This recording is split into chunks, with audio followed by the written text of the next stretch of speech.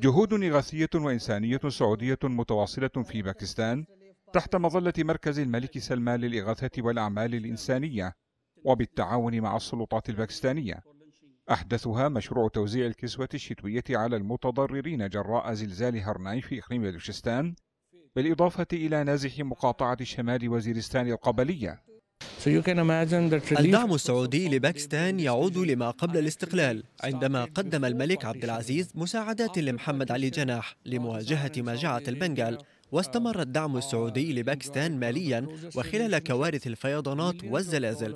نحن ممتنون للسعودية ونعتبر خادم الحرمين الملك سلمان قائدا للأمة الإسلامية. المملكة دائما علاقتها مع باكستان علاقة عميقة علاقة متجذرة.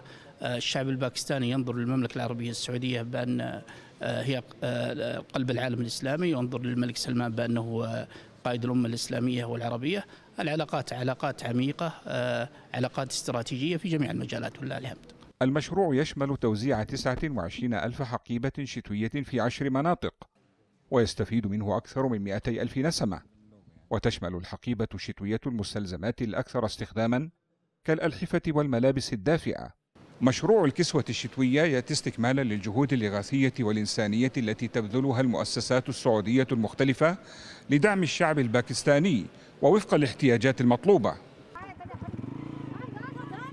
على مدار عقود نفذت المؤسسات السعودية في باكستان العديد من المشاريع الإغاثية والإنسانية الدائمة والعاجلة حيث عانت من آثار الكوارث الطبيعية والأزمات كما الآثار الناجمة عن جائحة كورونا.